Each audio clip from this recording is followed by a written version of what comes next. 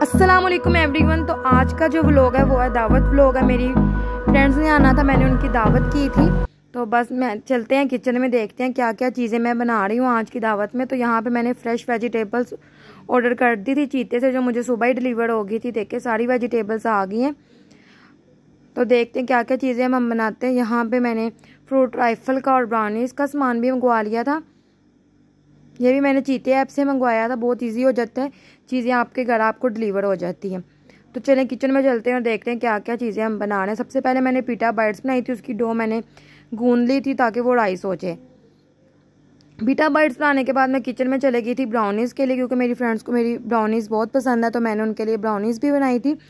तो ये वाली जो ब्राउनी की रेसिपी है, मैं विद बटर और चॉकलेट बना रही हूँ। मैंने विदाउट बटर भी आप लोगों के साथ रेसिपी शेयर की हुई है। वो भी बना सकते हैं। दोनों ही रेसिपी बहुत अच्छी हैं और बहुत अच्छी ब्राउनी बनती है। तो ये देखें, यहाँ पर मैं ब्राउनी का बैटर तैयार कर रही हूँ। फुल रेसिपी आप मेरे चैनल पे देख सकते हैं। तो बस छोटे छोटे क्लिप्स मैंने आप लोगों के साथ शेयर कर दी हैं कि क्या क्या चीज़ें मैं आज की दावत में बना रही हूँ। तो बस यहाँ पे ब्राउनी का बैटर तैयार हो गया था। मैं वैसे बेकिंग पैन में डाल रही हूँ। यहाँ पे अब मैं टैप टैप कर रही हूँ ताकि जो ब्राउनी के जो बबल्स हैं वो निकल जाएँ। और ज़्यादातर जो मैं बेकिंग हूँ, वो मैं फ्लेम पे ही करती हूँ। ये देखें, यहाँ पे हम फ्रूट राइफल बना रहे हैं।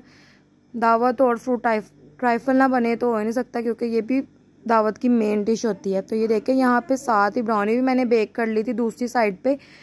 ब्राउनी भी हमारी बेक हो गई। अब इसकी मैंने कटिंग कर दी थी और छोटे छोटे पीसेस मैंने कट कर दिया था।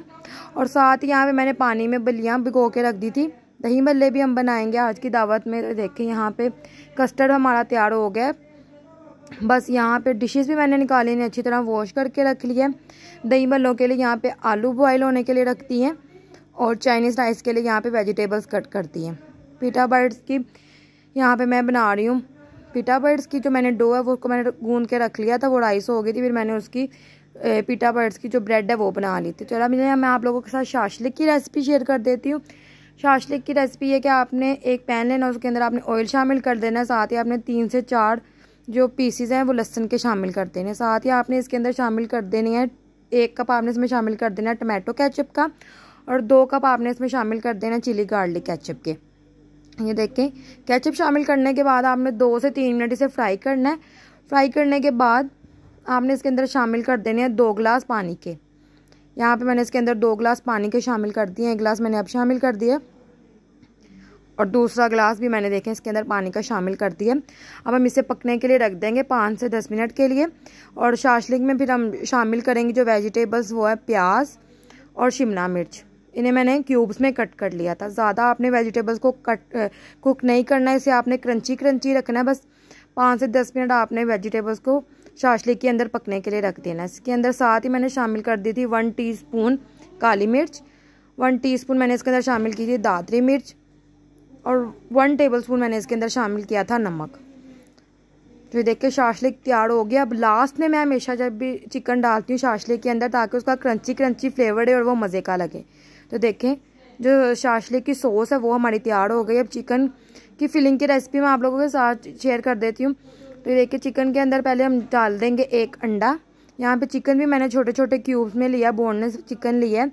इसके अंदर हम शामिल कर देंगे वन टीस्पून दादरी मिर्च वन टीस्पून काली मिर्च वन टीस्पून नमक। ये चिकन हम फ्राई करके शाशलिक में डालेंगे देखें सारे मसाले शामिल करने के बाद हम इसे फ्राई कर आ, मिक्स कर लेंगे फिर हम इसके अंदर शामिल किया टू टेबल स्पून विनीगर मैंने इसके अंदर शामिल किया है। थ्री टेबल स्पून मैंने इसके अंदर मैदा शामिल किया था। और अच्छी तरह इसको मैंने मिक्स करके मैरिनेट करके आधे घंटे के लिए फ्रिज में रख दिया था, ये देखें। बाद में मैंने इसको फ्रिज में से निकाल लिया था, आधे घंटे के बाद और हम फ्राई कर लेते हैं ऐसे। ये देखें, यहाँ पे गरम ऑयल के अंदर आपने सारे चिकन को फ्राई करना है, बहुत ही क्रिस्पी और क्रंची सा चिकन बनेगा। तो ये देखिए ये देखिए चिकन हमारा फ्राई हो गया अब इसी इसी फ्राई चिकन को हम डाल देंगे शाशलिक के अंदर। साथ ही हमारे चाइनीज़ राइस तैयार हो रहे हैं। चाइनीज़ राइस की रेसिपी भी मैंने आप लोगों के साथ शेयर की हुई आप ये राइस लाजमी ट्राई करें। बहुत ही आपको पसंद आएँगे। तो देखें राइस यहाँ पे हमारे कुक हो गए अच्छी तरह। इन्हें आपने कुक कर लिया। अब हम बता देती हूँ कि लेयर कैसे हमने लगानी जैसे हम बिरयानी में लेयर लगाते हैं वैसे ही हमने यहाँ पे चाइनीज़ चावल की लेयर लगानी है। पहले आपने चावलों की लेयर नीचे रखनी है, उसके ऊपर आपने ये जो वेजिटेबल्स वाला सामान तैयार किया है चिकन वेजिटेबल्स एग वाला, ये सारी दूसरी लेयर आपने इसकी लगानी है। सेम वैसी लेयर लगानी जैसे आप बिरयानी में लगानी फिर एक लेयर लगाने के बाद इसको मिक्स कर लेना है। फिर आपने उसके ऊपर दूसरी लेयर लगानी है चावलों की और ऐसी चाइनीज़ चावलों की। तो ये यहाँ पे मैं फ्राई कर रही हूँ चिकन और ये गजरे मेरी फ्रेंड्स लेके आई थी। यहाँ पे अब मैंने सारा जो फ्राई करने वाला सामान है, वो मैं फ्राई कर लेती हूँ। तो सबसे पहले हम फ्राई कर लेते हैं, रोल फ्राई कर लेते हैं। एग रोल यहाँ पे मैं फ्राई कर रही हूँ। इसकी रेसिपी भी मैंने आप लोगों के साथ शेयर की आप ये रेसिपी लाजमी ट्राई करें। दावत में लोगों को बहुत पसंद आएगी। जी, ये और ये देखें, यहाँ पे पीटा बाइट्स की भी हम फिलिंग कर लेते हैं। तो सारी चीज़ें मेरी रेडी हो गई जो। टेबल मैंने सेट कर लिया था। ये देखें, यहाँ पे पीटा बाइट्स भी हमारी रेडी हो गई हैं। शाशलिक भी हमारा रेडी हो गया। शाशलिक पे आप लास्ट एंड पे जब चिकन डालने के बाद आप इसके ऊपर तिल और थोड़ी सी हरी मिर्च के साथ गार्निशिंग कर दें, बहुत अच्छा लगता है और बहुत अच्छी इसके साथ प्रेजेंटेशन होती है। यहाँ पे देखें, सारी चीज़ें रेडी हो गई। चाइनीज़ चावल थे, आज की दावत में शाशलिक थे, उसके अलावा एग रोल थे कस्टर्ड था ब्राउनी थी और दही बल्ले थे। जो जो चीज़ें मेरे साथ साथ रिकॉर्ड होती कि वो मैंने आप लोगों को दिखा दी। फ्रूट राइफल की मैंने आपको साथ पिक्चर शेयर कर दी है। ये सारी चीज़ें मैंने आज की दावत पे बनाई थी। तो उम्मीद करती हूँ कि आपको मेरा आज का ब्लॉग अच्छा लगा होगा और जो रेसिपीज़ आप देखना चाहते हैं, आप मेरे चैनल से देख सकते हैं। सारी तकरीबन चीज़ों की रेसिपी मेरे चैनल पे अवेलेबल है। उम्मीद करती हूँ कि आपको मेरा आज का ब्लॉग अच्छा लगा होगा और आपको काफ़ी आइडियाज़ भी मिल गए होंगे दावत के लिए।